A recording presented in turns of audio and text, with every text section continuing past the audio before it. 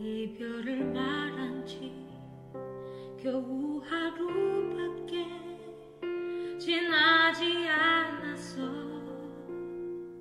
하지만 너무 이상하게도 내 맘은 변하네